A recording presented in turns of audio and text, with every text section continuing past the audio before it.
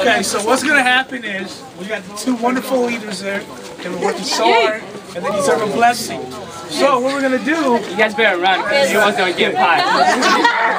Sifley and Brandon, they were the ticket, last two ticket, raffle ticket winners, so they're gonna get to take them. All right.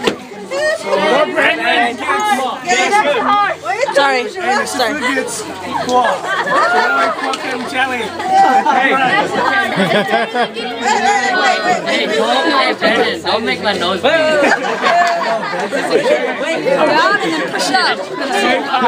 Are you guys sure you want to do it here? Oh my gosh, it in the